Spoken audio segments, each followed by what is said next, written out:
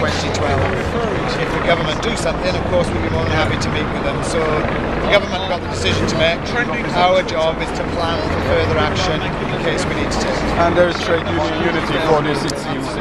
Thank you very much for your time. Excuse me, Mr. Sork, we're from the Occupy Stock Exchange. Oh, right, okay. Would, would you like to say anything to our viewers at home? Hi, mate. Sorry.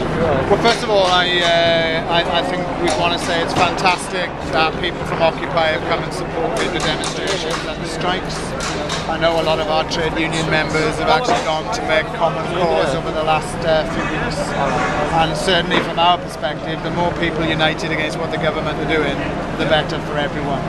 Uh, so I want to say my thanks to, to, to There's a, well, there's and a, also it's say the that our message to the rally is that if the government don't listen and they carry on trying to make those with the least pay the price for something that didn't cause, we need to see more action like this early in 2012. Thank you very much.